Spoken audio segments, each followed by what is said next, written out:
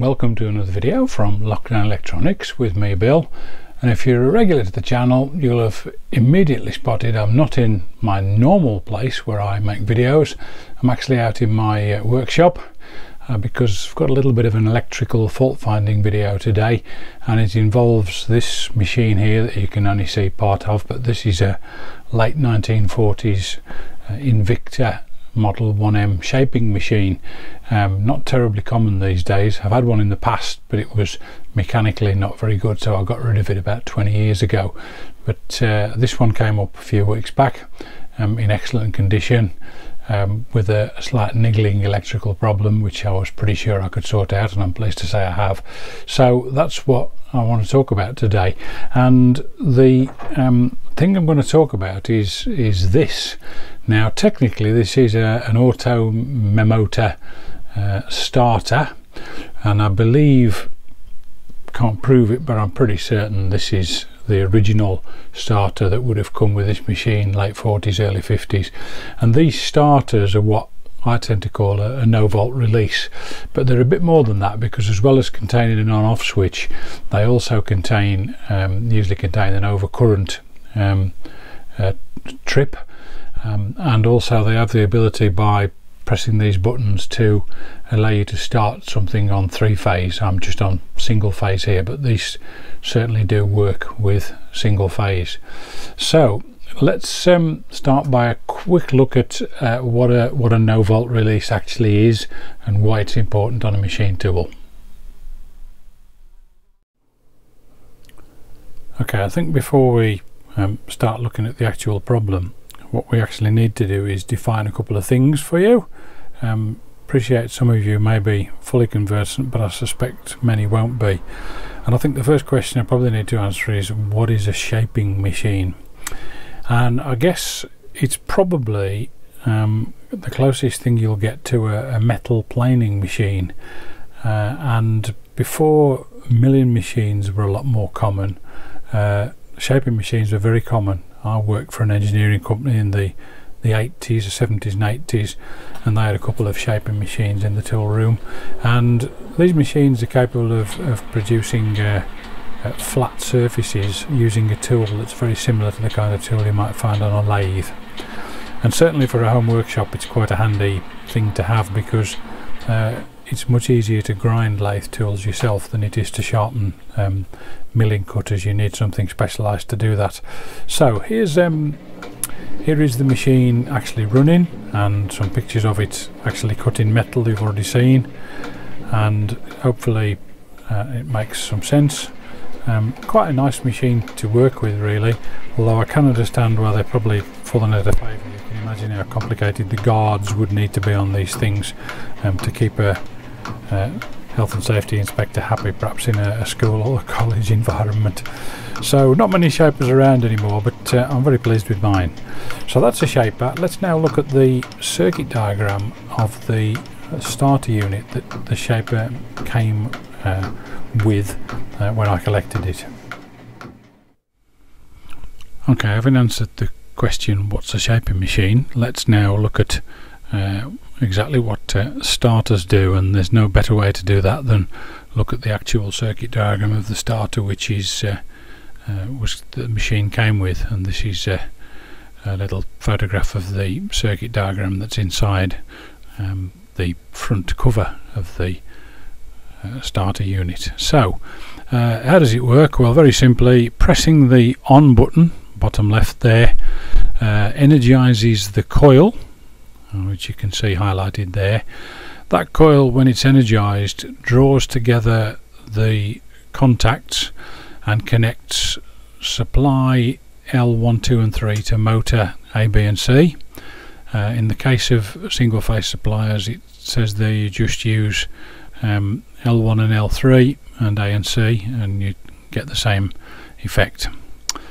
Uh, obviously this machine is fitted with a three phase voltage style coil it says there 380 to 440 um, but it was actually um, contacting uh, fine with with a 240 volts um, single phase supply. So I don't think that's um, what the problem is. Um, pressing the stop button uh, de-energizes the coil and causes the contacts to, to break and uh, the motor to, to stop. Uh, also note there the um, overcurrent trip is in series with the with the off switch. Now um, why do you need to do this? Why can't you just have an on-off switch? Well, um, lots of reasons really. Um, this is a relatively small machine with a relatively low power uh, motor but you can use this kind of arrangement to switch uh, much uh, larger capacity motors with a higher current where you wouldn't want um, that large current being switched uh, inside a, a, switch directly. Um, so this is a, gives you the ability to remotely switch a, a higher current. Uh, secondly um, if you ponder the circuit diagram for a moment or two you'll hopefully spot that in the event of um, a power failure or the current being turned off externally on the supply the um, coil will no longer be energized so the contacts will by definition break. And when the power supply comes back on the machine will not restart. It will only restart if you press the on button. So in other words, if um, the machine has stopped because of an electrical fault and somebody's inside there looking, the machine isn't going to surprise you by restarting if the power supply comes back on. So hence the um, thing I called it, which was a, a no fault release. But as usual, of course, they always have a an overcurrent, or usually have an overcurrent in them, as well as the uh, the contactor unit. So um, that's the machine as supplied uh, with the original contactor box uh, on the, the bottom left there and the fault was quite simply that the machine would uh, would start and run without the clutch engaged and it would do that very well for uh, quite quite a long time maybe two or three minutes uh, if you engage the clutch within a few seconds um, the uh, trip went and the trip would eventually go if you left the motor running for, for, for two or three minutes. Um, so that was the fault. So let's now have a look at, um, at what's going on and what we think the problem might be. Okay, so what I want to do is first of all uh, take some measurements of how the machine actually runs both when it's idling and also when it's actually uh, under load. And to do that I'm going to use my uh, clamp meter here. It's the Kaiweets HT206D and I'm going to set it to the 60 amps range. I'm going to change that to um, AC there using the function but I'm also going to use the max min button um, as it, will it'll record the uh, well as it says on the tin it'll record the maximum or the minimum and it's the maximum that I'm interested in. So I'm going to get set up so I can um, film me measuring the current.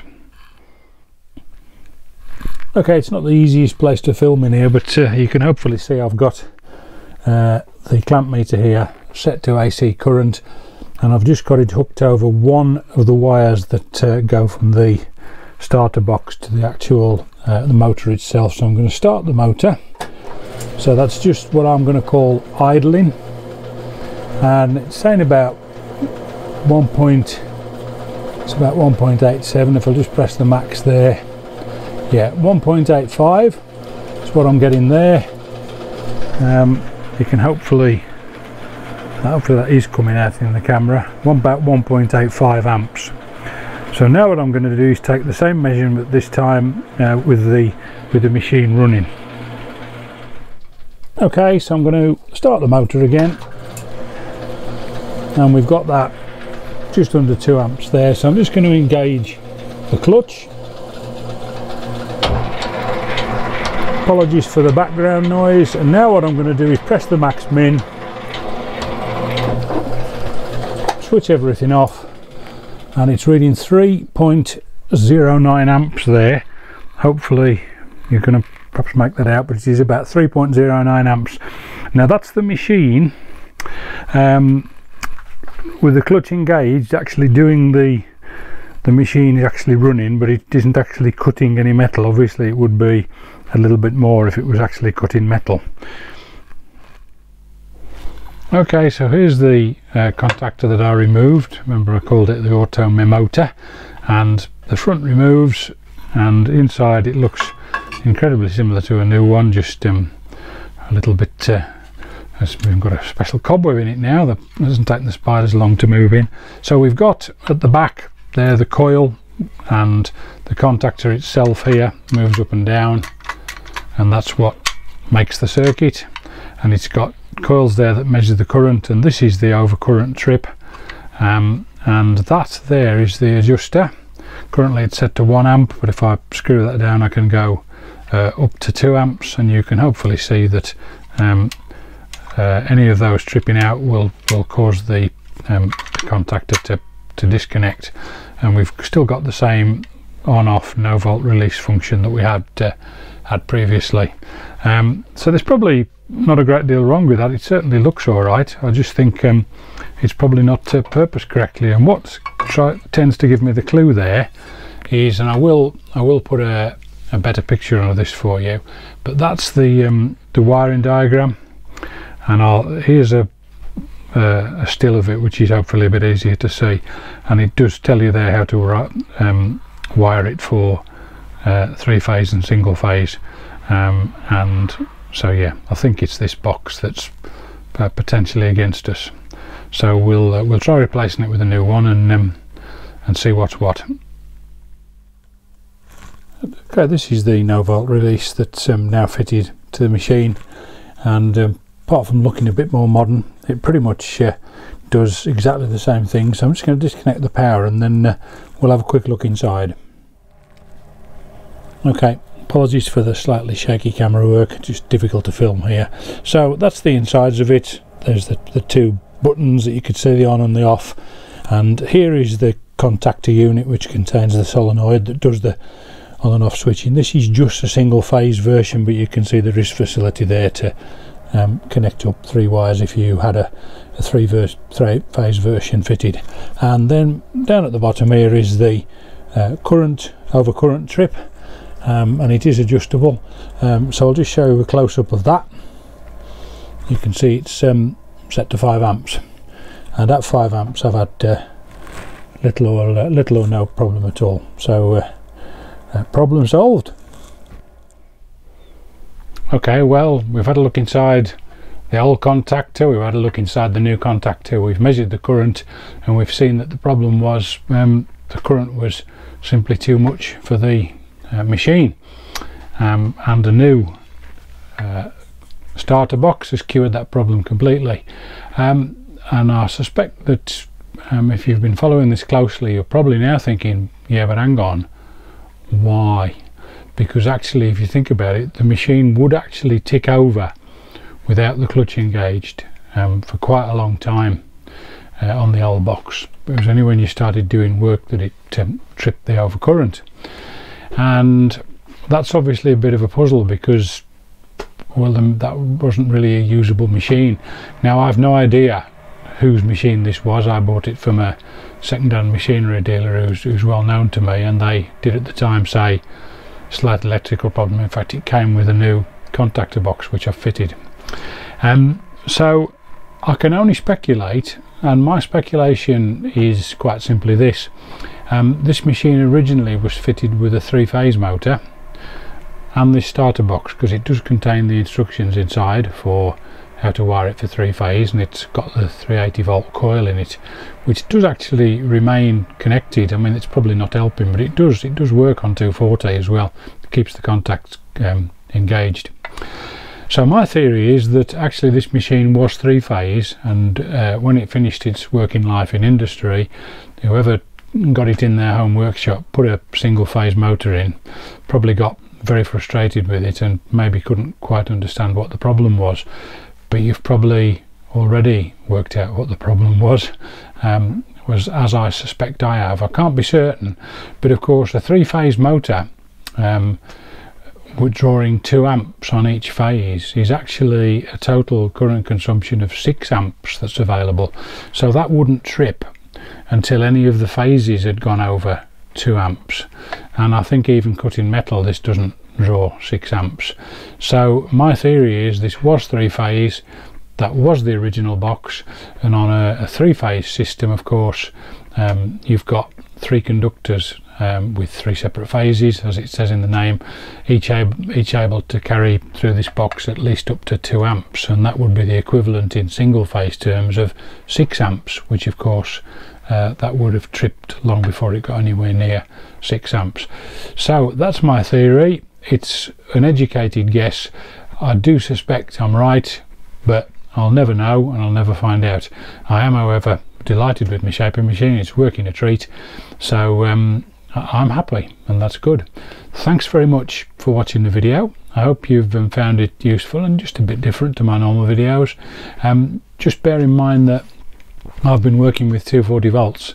Um, you shouldn't be doing that unless you're qualified and you certainly shouldn't be doing it unless you're 100% comfortable. I wouldn't recommend that you do work with mains voltage. That's not a good idea. Get somebody who's competent or qualified to do it and then that way um, you're taking no risks and certainly as I say I wouldn't recommend you did it. Hope um, to see you on the next video. Thanks very much for watching. Bye for now